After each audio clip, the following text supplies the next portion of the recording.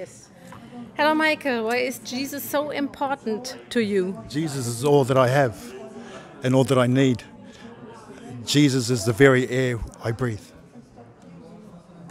Thank you. Thank you.